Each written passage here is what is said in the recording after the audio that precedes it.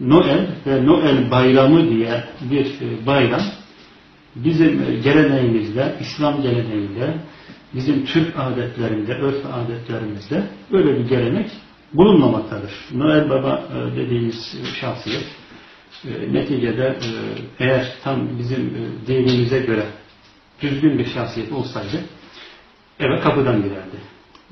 Pencereden ve bacadan girmezdi.